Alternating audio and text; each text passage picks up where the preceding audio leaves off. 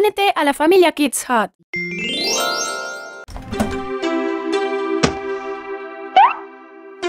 Diez, veinte, veinticinco, cuarenta y cinco.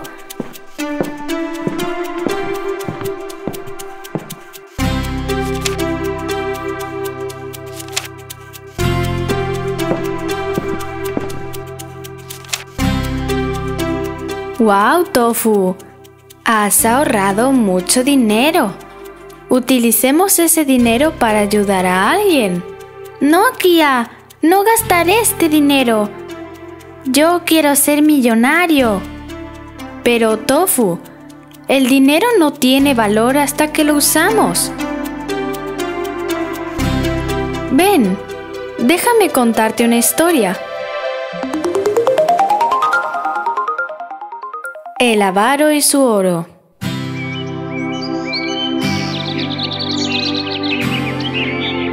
Hace mucho tiempo existía un avaro. Él odiaba gastar el oro, así que nunca usó el que tenía.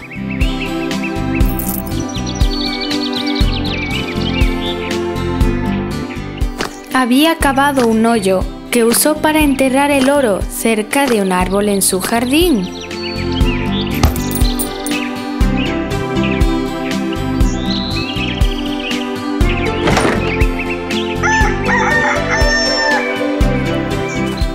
Todos los días iba hacia el árbol a excavar.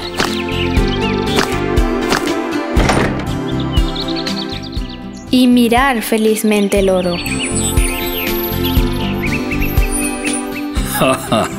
Soy tan rico. Poseo todo este oro.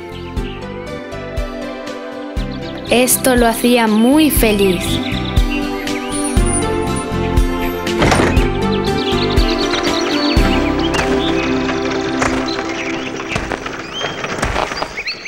Un día, alguien pasó y lo vio excavando. Y vio el oro que había escondido. Oro debajo del árbol. Esperaré a que oscurezca.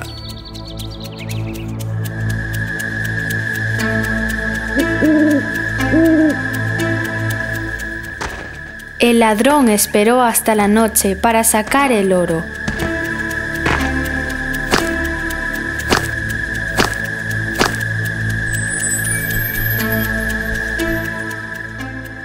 Tomó todo el oro enterrado bajo el árbol.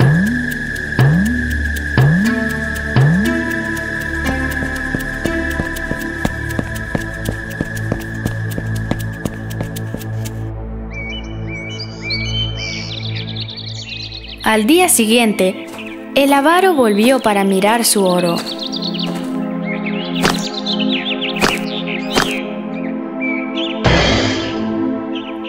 ¿Dónde? ¿Dónde está mi oro? ¿Dónde está mi oro?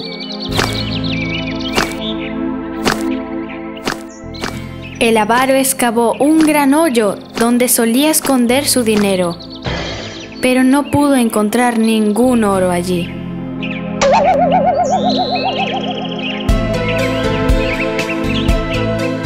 ¿Quién se robó mi oro?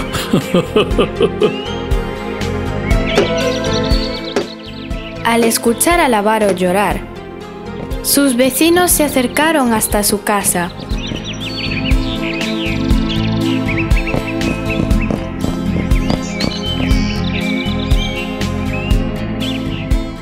¿Qué pasó? ¿Por qué estás tan molesto? El avaro les mostró el hoyo y les contó todo sobre el oro que solía esconder bajo el árbol.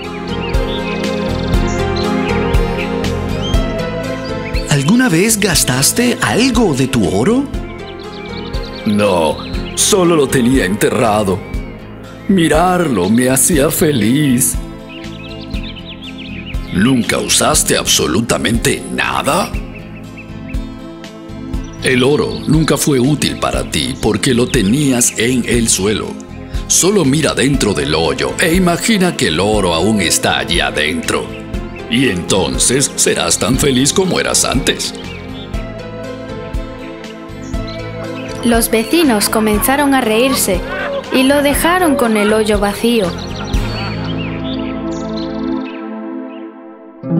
Ahora entiendo, Kia. Debería gastar mi dinero en algo realmente bueno. Sí, Tofu, porque la riqueza no utilizada es como si no existiera.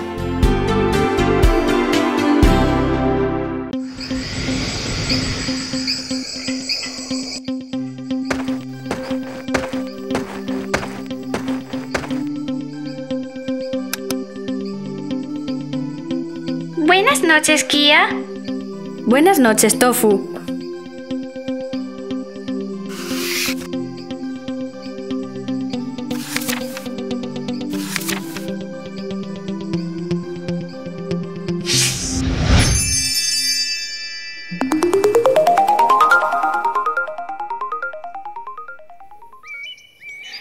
Una vez una solitaria pareja que lo que más deseaba era tener un hijo. Vivían en una pequeña casita solitos. En la parte trasera de la casa había una pequeña ventana, desde la que se podía ver un espléndido jardín. Este jardín estaba lleno de hermosas flores y hierbas. Nadie se atrevía a entrar al jardín porque pertenecía a una bruja llamada Damagote. Un día la mujer vio una planta llamada verdezuela, que es utilizada para hacer ensaladas. Querido esposo, tengo muchas ganas de comer una ensalada que lleve esa planta. Oh, pero pertenece a la bruja malvada. Oh, por favor, haz algo. Realmente quiero comer esas verdezuelas. Ok, querida, trataré de buscarlas para ti. A la medianoche, el esposo escaló la pared hacia el jardín de la bruja.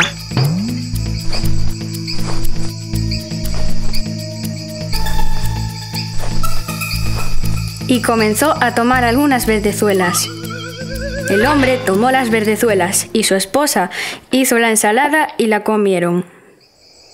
Pero esa misma noche llamaron a la puerta y el hombre supo que algo no iba bien. ¿Cómo te atreves, humano? Venir a mi jardín y tomar mis verdezuelas como un ladrón. Pagarás por esto.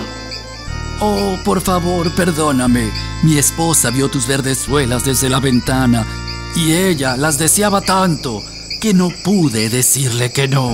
Oh, si esa es la verdad, entonces te dejaré tener tantas verdezuelas como tu esposa quiera, pero solo con una condición. ¿Qué condición será? Tú deberás darme al hijo que tu esposa va a traer a este mundo. El hombre asustado aceptó la condición. A medida que el tiempo pasó, la pareja dio a luz a una hermosa niña.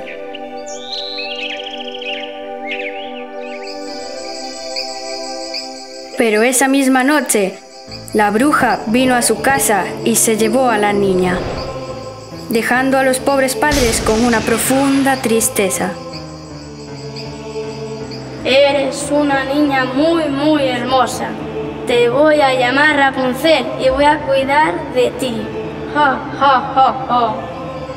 La bruja la mantuvo encerrada en una torre sin puertas ni escaleras, solo con una pequeña ventana. El tiempo pasó y Rapunzel creció convirtiéndose en una hermosa joven con largos y dorados cabellos. Pero su belleza era en vano, porque la cruel bruja nunca le permitiría ir a ningún lugar. La pobre Rapunzel solo se paraba en la ventana a cantar canciones tristes. Cuando la bruja debía visitar a Rapunzel, solía pedirle que dejara caer su cabello.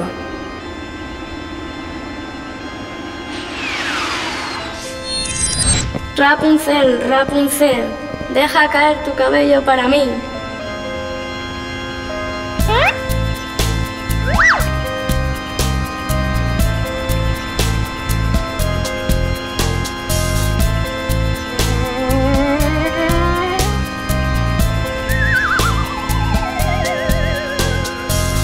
Día, cuando Rapunzel estaba en la ventana cantando canciones tristes,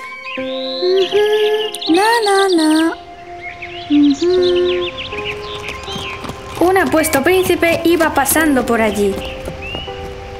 Se detuvo y miró a un lado y otro para ver desde dónde provenía esa hermosa voz.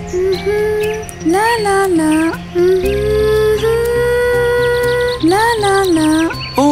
¡Oh, qué hermosa canción! ¿Quién está cantando tan bien?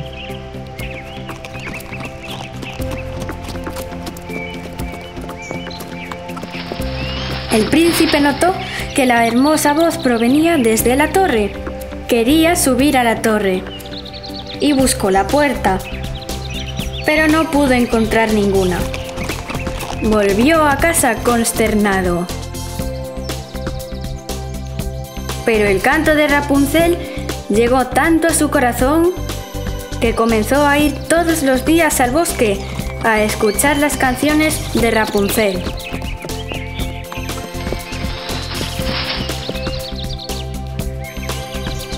Un día estaba parado detrás de un árbol, cuando vio que venía la bruja. Y escuchó lo que le dijo. Rapunzel, Rapunzel, deja caer tu cabello para mí.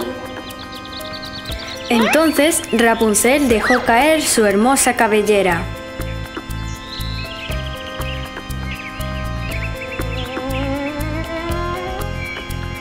Y la bruja escaló la torre. ¡Oh! Esa es la manera de escalar la torre. Yo haré lo mismo.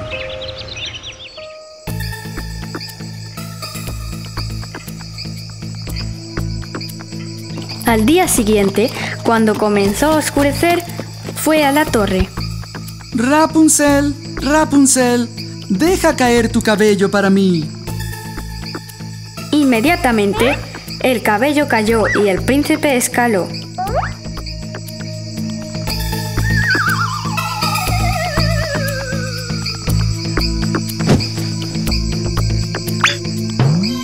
Oh, ¿quién eres tú? Oh, por Dios, tú eres la doncella más hermosa que he visto en toda mi vida. Te has robado mi corazón. Serías mi esposa y vivirías conmigo en mi castillo. Oh, mi príncipe. Desearía que fuera posible, pero la bruja no me deja salir de esta torre. Y si se entera de que estás aquí, va a matarte. No me importa. Vendrás conmigo ahora. Ven, vamos. Oh, príncipe, estoy lista para irme contigo, pero no sé cómo bajar de aquí. Si dejo caer mi cabello, ¿cómo podré bajar yo? Tienes razón. Mm, Debes irte de aquí ya. La bruja volverá pronto.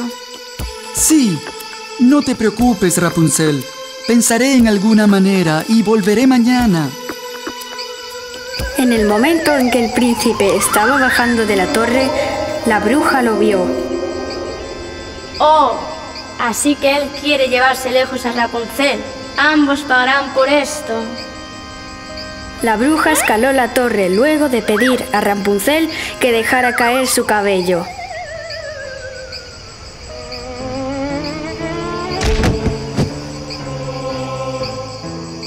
Oh, me traicionaste. ¿Cómo te atreves a pensar que puedes traicionarme? Pagarás por esto. La bruja tomó unas enormes tijeras y cortó su larga y hermosa cabellera.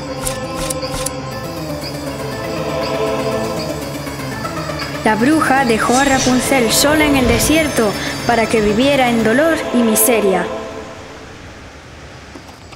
Mientras tanto, el príncipe volvió la tarde siguiente a llevarse a Rapunzel. Rapunzel, Rapunzel, deja caer tu cabello. La bruja malvada dejó caer la larga trenza que había cortado del cabello de Rapunzel.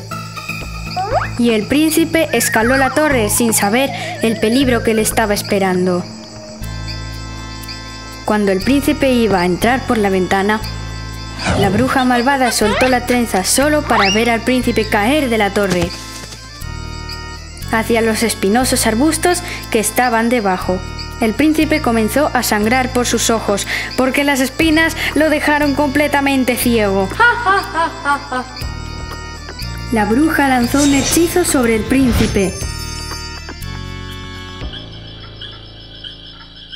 Y él divagó en los bosques alrededor del mundo sin poder ver nada, y sobrevivió en mínimas condiciones.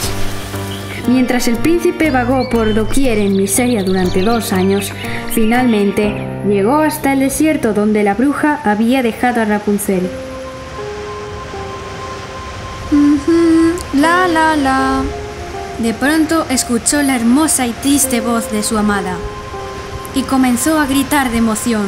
¡Esa voz! ¡Esa voz! ¿Eres tú, Rapunzel? ¿Realmente eres tú?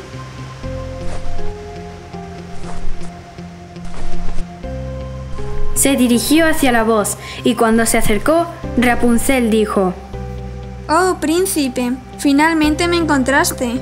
Te extrañé tanto. Estoy tan feliz de verte que no puedo parar de llorar. Dos de sus lágrimas cayeron en los ojos de él y se aclararon de nuevo, y pudo ver con ellos como antes. Puedo ver de nuevo. Oh, mi dulce Rapunzel, ¿pero qué nos han hecho?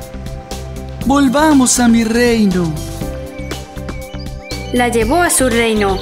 Un año después, Rapunzel dio a luz una hermosa y preciosa pequeña niña, que se parecía mucho a ella, y vivieron felices para siempre.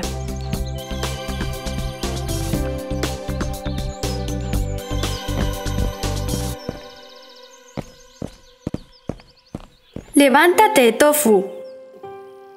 O llegarás tarde a la escuela. Levántate, Tofu. Oh, mm, ah, Kia, ¿tú? Ja, ja, ja. ¿Qué pasó? Eso, eso fue... Ja, ja, ja. Lo sé, lo sé, lo sé. Era yo en tus sueños. Ahora levántate y prepárate.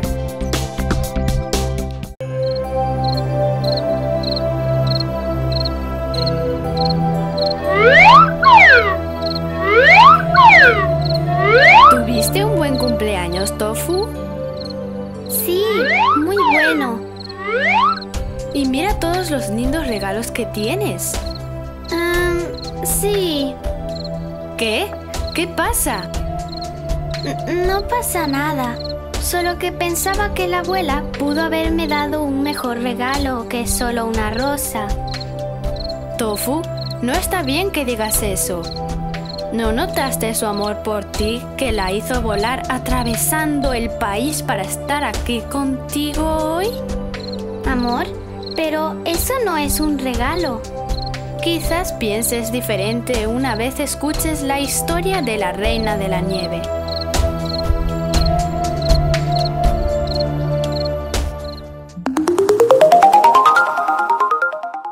La Reina de la Nieve.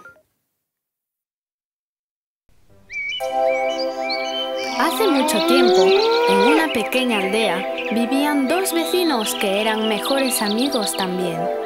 Sus nombres eran Gerda y Kay. Se querían mucho el uno al otro. Como símbolo de su amistad y amor, un día ambos plantaron una rosa cada uno en su jardín delantero. Cada mañana iban juntos y regaban sus plantas y las cuidaban.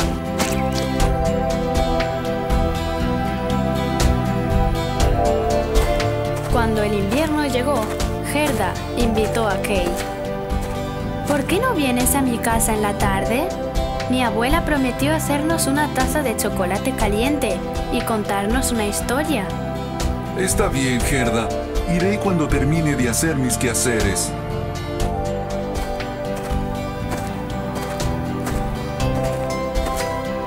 Prometió, Kay fue a la casa de Gerda en la tarde. Cuéntanos la historia de la reina de la nieve, abuela. Bah, no hay una reina en la nieve. Todavía crees en esas historias. Pero Kay no sabía que la reina de la nieve sí existía.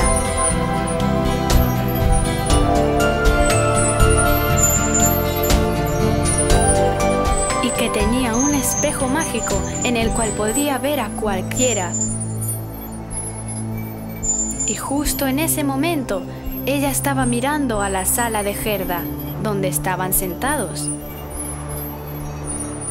No creen en mí, ¿verdad?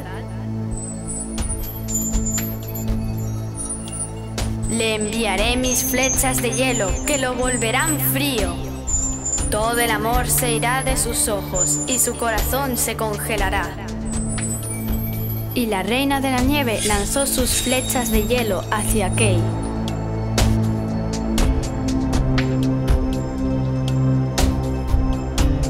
Tan pronto como entraron en la casa de Gerda, llegaron directo a los ojos y al corazón de Kay. ¡Ay! ¡Mis ojos! ¿Qué está pasando? Me duelen. ¿Qué pasa, Kay? ¡Ah! Mi corazón. Me duele también. Kay, ¿qué sucede? ¿Estás bien? De pronto, el comportamiento de Kay hacia Gerda cambió.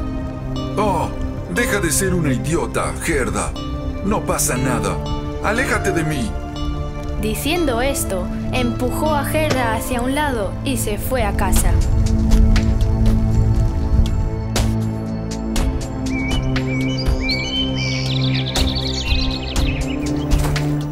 Los días siguientes lanzó miradas frías a Gerda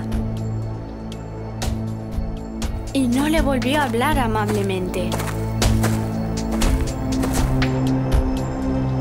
Él ni siquiera iba a regar las rosas que había sembrado. Una mañana, cuando Gerda estaba regando las plantas, vio a Kay subir a un carruaje con una mujer que estaba vestida de blanco. Tenía la piel como diamantes y su cabello era de color plata. Gerda supo inmediatamente que era la reina de la nieve. Decidió seguirla, pero el carruaje se desvaneció en el aire. Así que fue con su abuela. Mira en este espejo de mano y sigue lo que te dice. El espejo solo te dice la verdad. Gerda tomó el espejo de su abuela y miró en él. El espejo le dijo que buscara el jardín de la flor. Así que Gerda fue a buscarlo.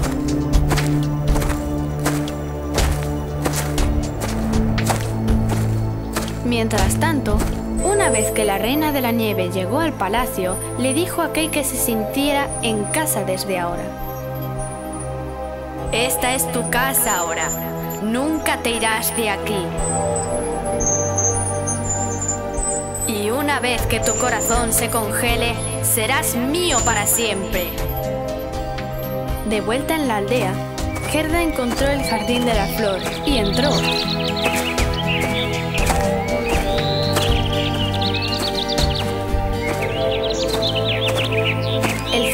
Estaba lleno de las más hermosas flores que Gerda había visto jamás. Se enamoró de ellas inmediatamente.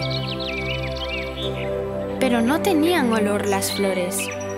Sorprendida, Gerda se agachó y tocó una de las flores para entender si eran reales.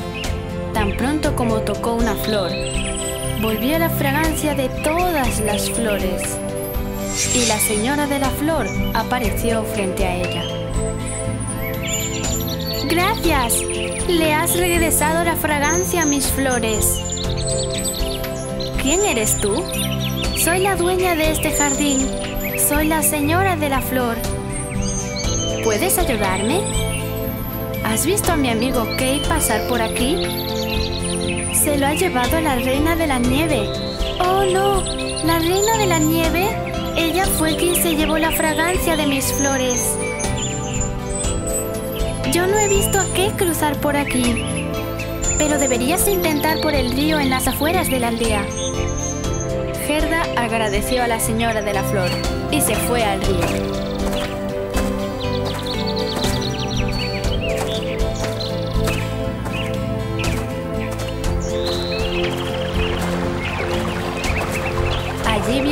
Que la estaba esperando.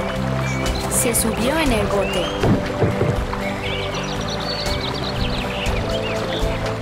Y la llevó hasta un barco pirata.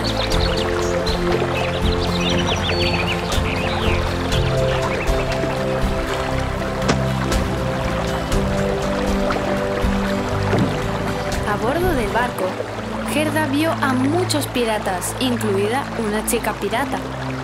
Hola, ¿puedes ayudarme? Estoy buscando a mi amigo Kay. La reina de la nieve se lo ha llevado. No conozco a ningún Kay. Y si lo supiera, no te lo diría. Porque una vez que estás en el barco pirata, no te puedes ir. Debes estar aquí. No, por favor. Debes dejarme ir. Kay es mi amigo. Debo salvarlo. ¿Amigo, dices? ¿Eh? Bueno, nunca he tenido un amigo. Bien, te ayudaré si prometes ser mi amiga. Sí, por supuesto. Me encantaría ser tu amiga. Muy bien. Toma mi reno. Es el reno más rápido del mundo. ¿Y sabe dónde está el palacio de la reina de la nieve? Gerda agradeció a la chica pirata y subió a la espalda del reno. Tal como la chica pirata prometió, el reno sacó a Gerda hacia el palacio de la reina de la nieve en un momento. Gerda se bajó del reno y entró en el palacio. ¡Kay! ¡Kay! ¿Estás aquí?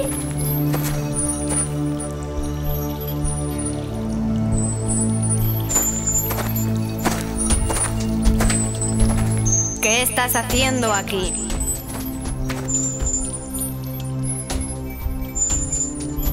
Estoy aquí para llevarme a mi amigo conmigo. Tu amigo ya no existe más. Míralo, parado allí en la esquina. En solo unos minutos su corazón se congelará y entonces será mío para siempre. Gerda volteó a ver hacia donde señaló la reina de la nieve. En la esquina estaba Kay. Sus labios estaban azules y sus ojos fríos.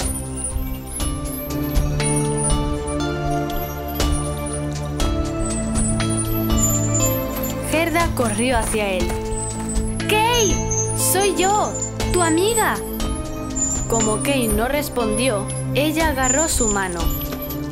El toque de su vieja amiga devolvió el color a los ojos de Kay. Alentada por su cambio, Gerda lo empujó. ¿Recuerdas todas las veces que nos divertimos en casa? Y nuestras rosas que tenemos en los jardines del frente. Esto no tiene sentido. Su corazón se congelará pronto. Al oír esto, Gerda no aguantó y comenzó a llorar. Cuando estaba llorando, sus lágrimas rodaron desde sus ojos hasta la mano de Kay. Tan pronto esto pasó, Kay miró a Gerda y sonrió. Gerda, mi amiga, viniste por mí. Esto es imposible. Nada puede con mi maldición. Ella trató de alejar a Gerda de Kay. Y allí fue cuando el espejo de la abuela de Gerda cayó de su bolsillo. Cuando la reina miró en él, le habló. Reina de la nieve, te has equivocado. Hay un poder más fuerte que tu maldición y es el poder del amor. Al oír esta verdad, la reina de la nieve comenzó a llorar y pronto se disolvió en una piscina de sus propias lágrimas. Oh, ahora me siento terrible, Kia. Creo que no he sido justo con la abuela. Bueno, aún tienes tiempo de hacer las cosas mejor, Tofu. Sí, tienes razón, Kia. Iré a verla y a disculparme. No olvides darle un beso y un gran abrazo.